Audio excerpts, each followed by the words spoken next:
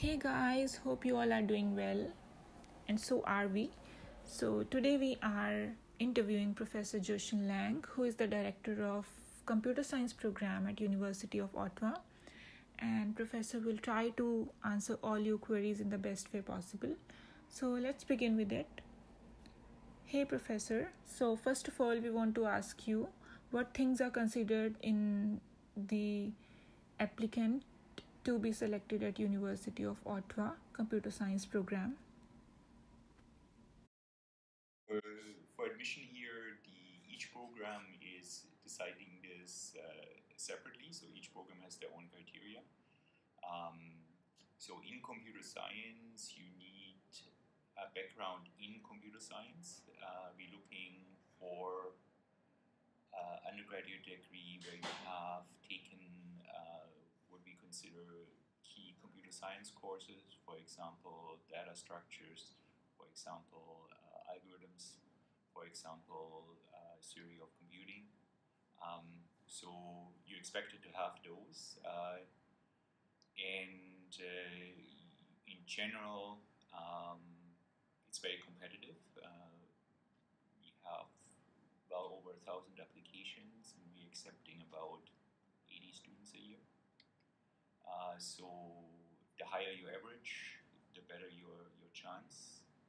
Uh, but we look also for other things. So if you have uh, if you have undergraduate degree from a very prestigious university, it will help you.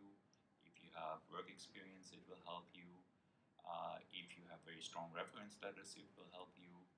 Um, if you have especially if you have done prior publications, it will help you. Uh, if you have um, other things which help are uh, if you have done competitions like computing competition, ACM competition, something like that, that's very, very well regarded. Uh, there's no direct formula, so we we really looking at files individually. Um, but I would say if, if you have an average below 8, uh, your chances are very small. So, like since you've mentioned about the courses like data structure, com- computing, uh, computing uh, theory. Uh, so, like if a person, if a student hasn't done these courses, is there any chance, like if he gets the admission and then he can do these courses at the U Ottawa? In principle, yes. Uh, however, we have to look at that this uh, is quite it's difficult to do because it, it, interrupts all, all kinds of schedules. And given the high number of applications, uh, we will have to have a strong reason why we why we would accept a student like this because there's so many students who have all the requirements. Um, so yes, I mean if there is if someone has a very strong reason why we want to accept that student, very outstanding student, and certainly we do make exceptions. But as I said, uh, this is quite rare. Um, and it's more common if you want to work with a supervisor on a thesis than if you would want to work on a course-based degree. Okay, and could you tell us more about like the companies that come for the co-op or for the computer science program? Well, for the co-op program, I think the the best people to ask is the co-op office uh, because they have a more up-to-date view on this. I mean, I only have a small section from students I work with and I know where they went to, uh, or from companies I work with on my research project. So, so my sampling is pretty small. I know that that computer science students uh, currently are very sought after. Um, I had just a recent student who started at Shopify. Um, there's a lot of companies around here in the Ottawa area, and, and most of our students stay in the area. The co-op office was able to accept all students from computer science who wanted to do a co-op. Um, there was a fair number this year, and so they will all be presumably placed in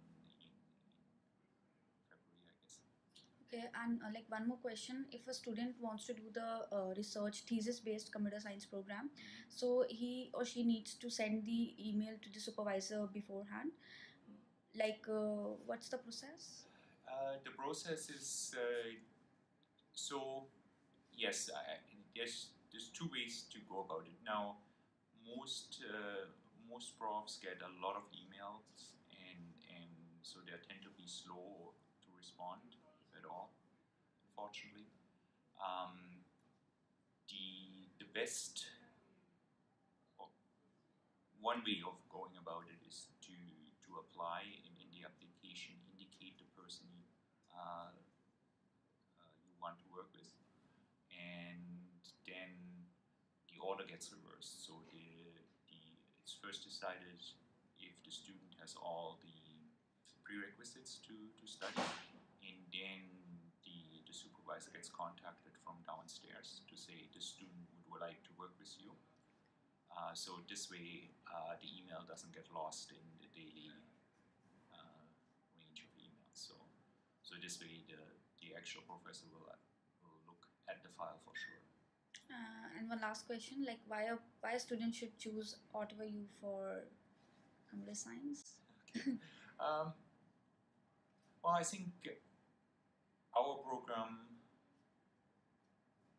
has there's, there's advantages to it, uh, which are program specific, and then there's advantages to it of being being here in Ottawa.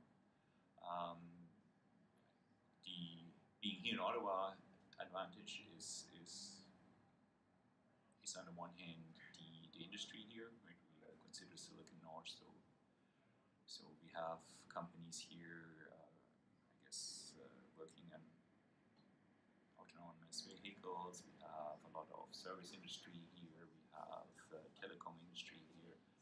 So this is really one of the biggest uh, high-tech hubs in North America and certainly in Canada. Uh, so that's a big advantage. Um, program specific, um, our our program has been around a while, so we are we are well known, uh, and uh, the and, and I believe we, we provide pretty good good quality education.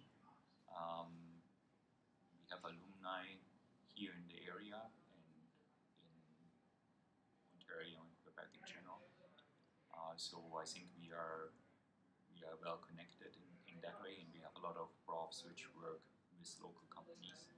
So especially for thesis students, that's a good reason to work with a prof here.